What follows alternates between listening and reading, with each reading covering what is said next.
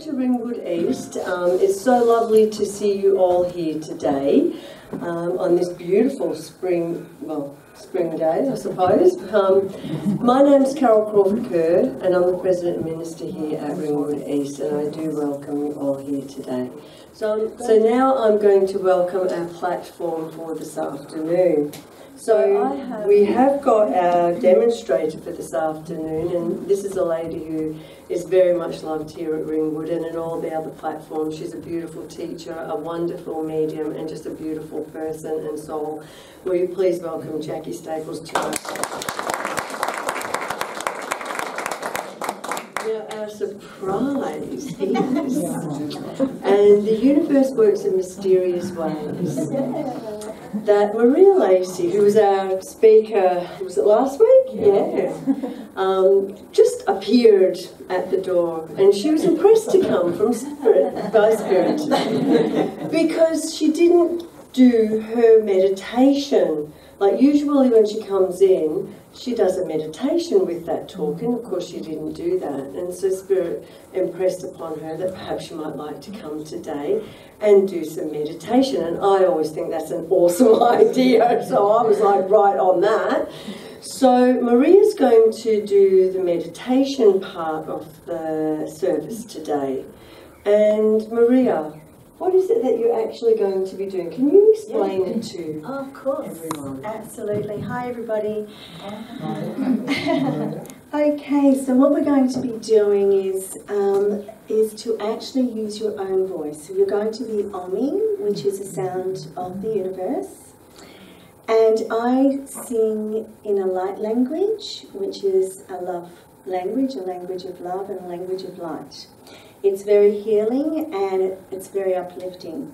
So, what's going to happen is you're going to be doing your OMS, which is actually going to open you up and, and just help you harmonize your physical being and spiritual being. And I'm going to sing over the top of that. And we're just going to continue until you feel like you just need to stop, and then you're going to stop. And then, and you can stop at any time, and you're just going to sit there just breathe and feel the vibration in your bodies and and listen to others if others are still going and then we'll, we'll finish with that. So I trust that you will enjoy it. Thank you. Did, did you want to? Just give people a bit of an idea. Okay, sorry. we can do. We can change things, can't we? Yeah. yeah. yeah. Why not? I think that's great. All right. So, whenever we do any form of chanting, it's a circulatory chant. So, in other words, it's like playing the didgeridoo. Actually, you take a deep breath in. Oh.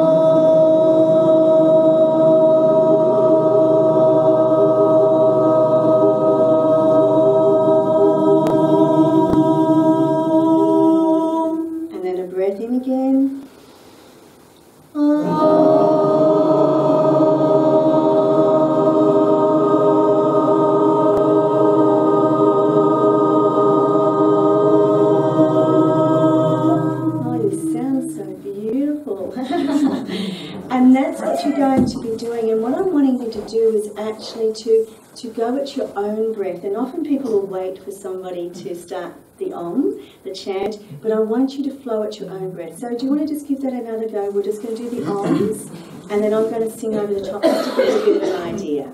So we'll just start again. that?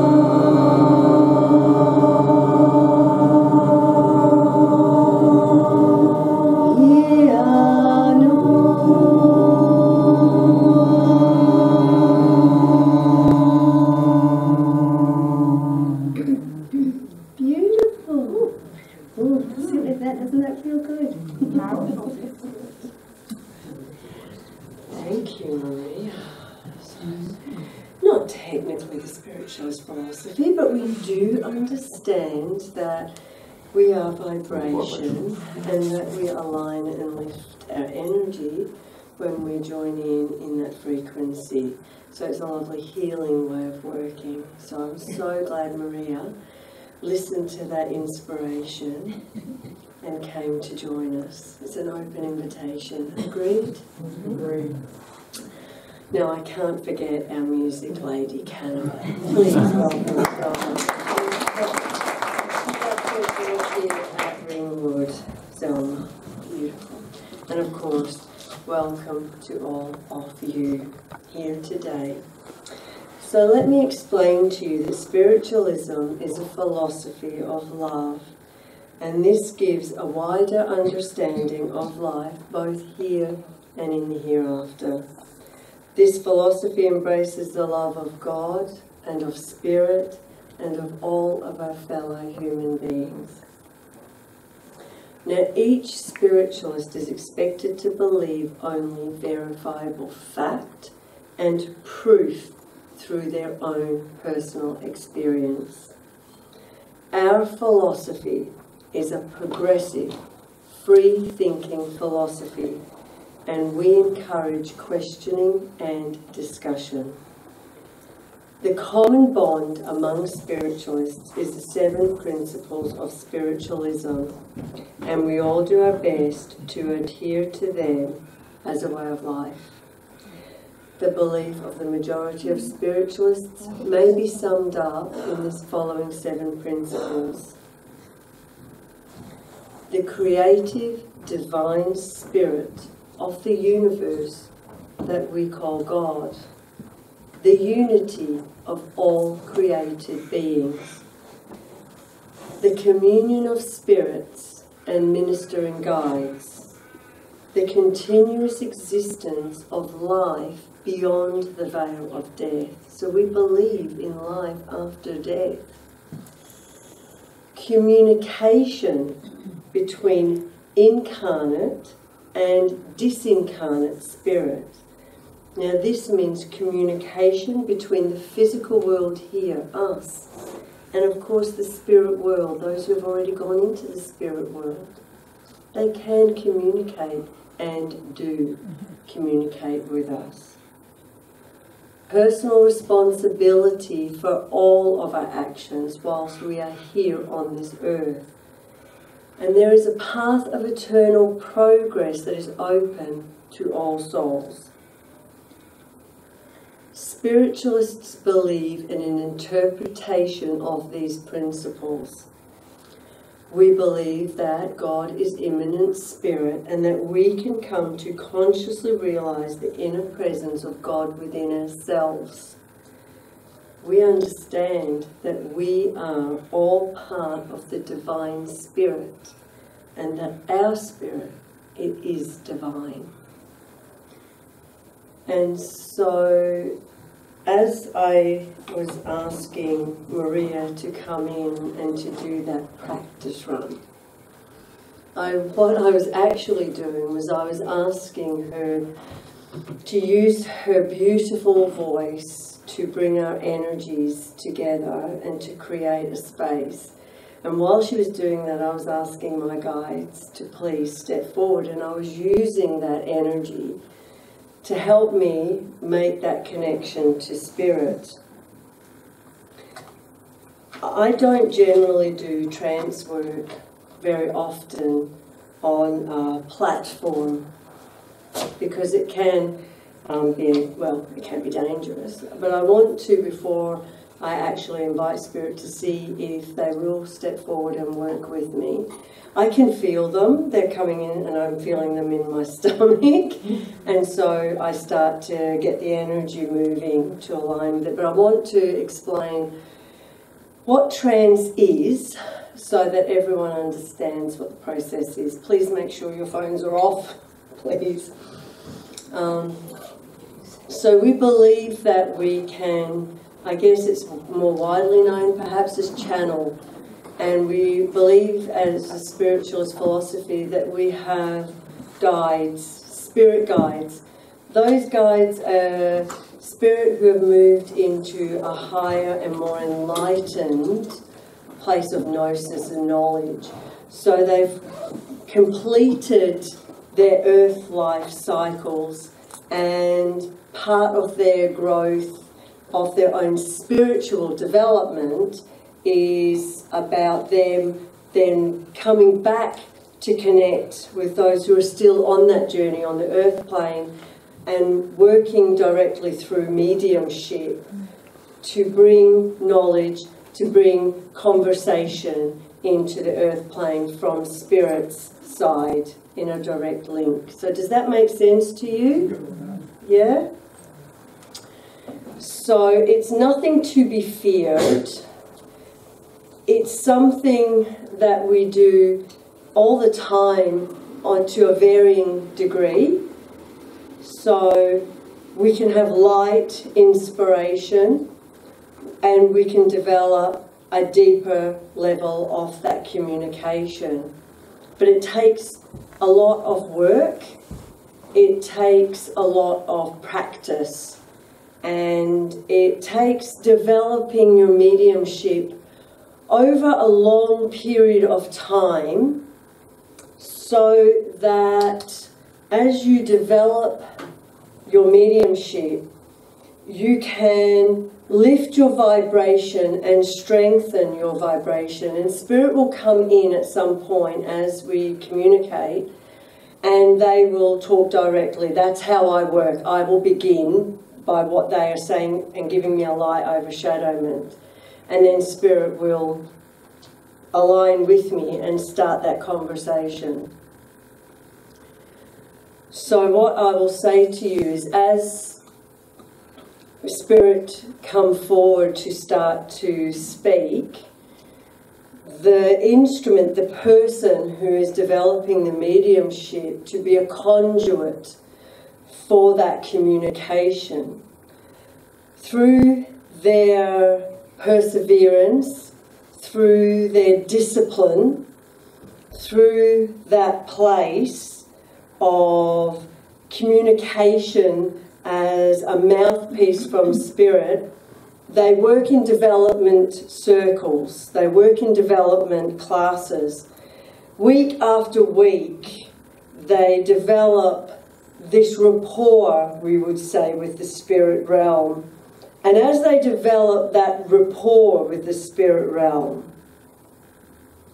they manage that higher frequency that's actually what you are developing when you're in a development circle.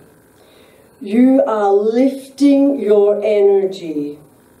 You are aligning your vibration and frequency to that of those guides and helpers who are working with you through that development of your mediumship.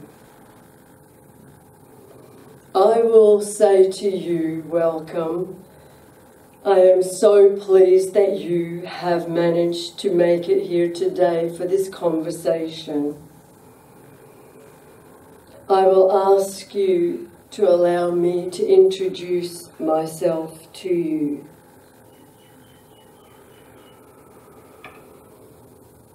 my role with this medium is that of guardian spirit. She knows me as Paul. And I lived many lives on the earth plane, which you would say is in your history.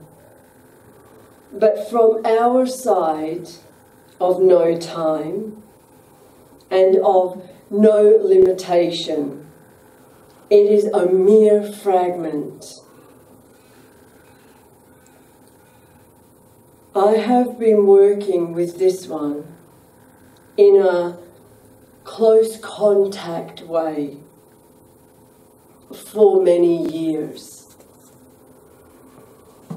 Before that, she actually believed that there was another who was her guardian, and she was under this belief for many years.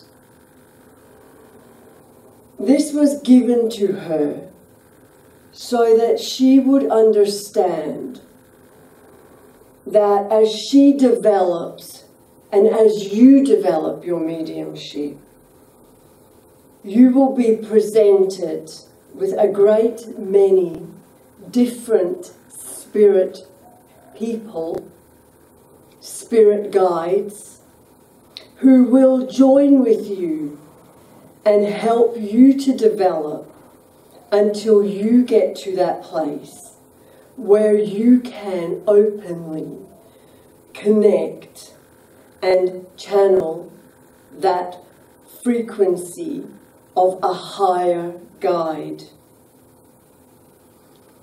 You cannot expect to walk through a classroom door or a, a place of, of connection as this place is and open that door and be welcomed with a higher guide. That guide is there. We can assure you of this. But that guide will have connector guides who will step in to vibrationally allow that communication with the person who is developing that mediumship. Your safety, your longevity is of paramount importance to us on the spirit side.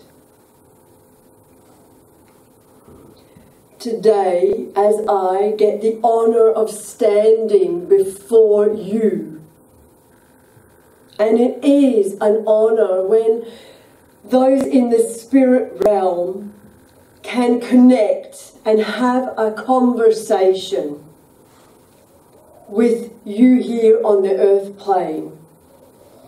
As we are always with you, as spirit is not separate from your reality, it is merely a vibrational distance, a step away from third dimension. The message we have today is a very simple message. Your world is changing. We celebrate your changing. Your language has changed. Your understanding has grown exponentially on the earth plane. You are working towards enlightenment. It is not enlightenment for other people. It is self awareness. You are developing consciousness. You are working as a conscious being. It seems high humor that for millennia you have worked and walked this earth and you have done it unconsciously. There have been those souls, spirit, who have come in, teachers, ascended masters, who have given enlightenment and instruction. It has been to the few, but today it touches the many. We are all connected. Whether you are on the earth plane, whether you have a physical form, or you have left the earth plane, and you are now in your true essence and form. We are all connected. We are all part of that source power. There is nothing that you cannot tap into. There is nothing you cannot learn to master. But first, you must master yourself. You must develop your self consciousness, your awareness of true essence and source. You must strengthen that muscle that connects you to that source so that you can become that channel. You do not need to stand on a platform to do this. What you do is you vibrationally align that spirit source that you left behind when you incarnated. You align that source power and you vibrationally share that with every soul that is on this earth at that point who comes to you and who connects with you. There is not a person on this earth that can teach you how to do this. But there are teachers there are those who have developed a sense of this. And they can work as a guide to unlock that information that lies within you. Orthodox religion has been a place where people have submitted who they are and subjugated their beliefs to the belief of the mass. We now ask you to understand that the new energy and source power that comes in, the new age, you have called it, to coin that phrase, is about self empowerment and then you bring that to the world. It is not done for ego. Let us stipulate that clearly. For if the ego takes that information and is immature, it can cause harm. It is about service It is about service to others. That's why you chose to incarnate. You chose to be born to develop your spirit, to bring that back to your soul, to your group energy, to the consciousness of all humanity. And you do this through the life incarnational process. What an honor! The honor is ours on the spirit side. For we are more real than you. The truth is, this will become that dream. And all that is true, and all that will be carried forward, and all that makes you eternal, will return to its true form. And my goodness, what a form it is! It is magnificent because you are all part of that divine spirit. So, we who have completed the journey that you are undertaking, this is our service. This is our growth. This is our development. So that we can again move into that next level of awareness where we do not have to find voice on the earth and speak and channel through, but we become a force of earth and all of the heavens and the divine and the universe. And we are. We have no sense of identity.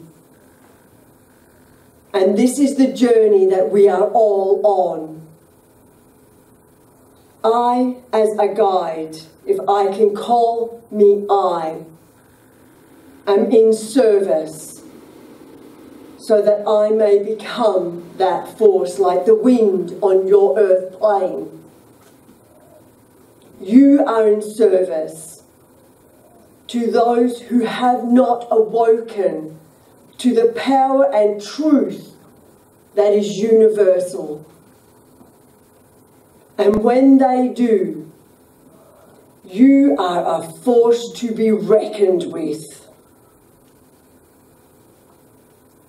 So when you look at the form you have chosen in the earth, every day in that mirror that you look at who you are, I ask you to look beyond what you identify as you. And look into your heart and know thyself. Ask, what motivates me to be the expression in my life that I am? Why do I do what I do? Get to know you. And by getting to know you and your motivations and your agendas and your personality, you begin the journey to develop a stronger serving serving the divine and then humanity. We do thank you for allowing us this space to share. This is where I say to you,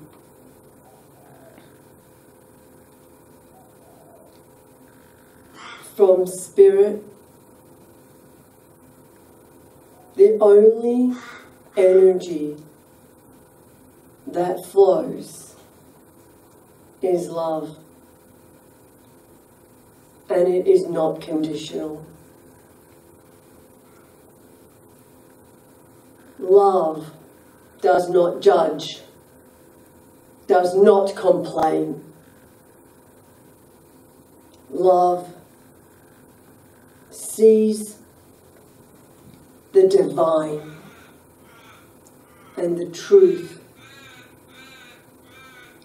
and it allows growth and forgiveness. Compassion is the language of spirit, and it is free, it is abundant, and it is given unconditionally. We will take our leave and we will thank you for your patience and kindness.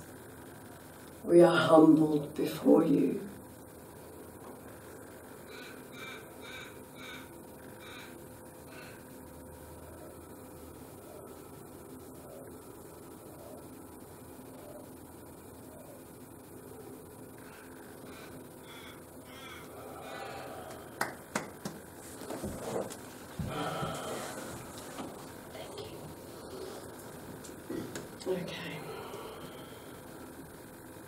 Yep, I think I'm back.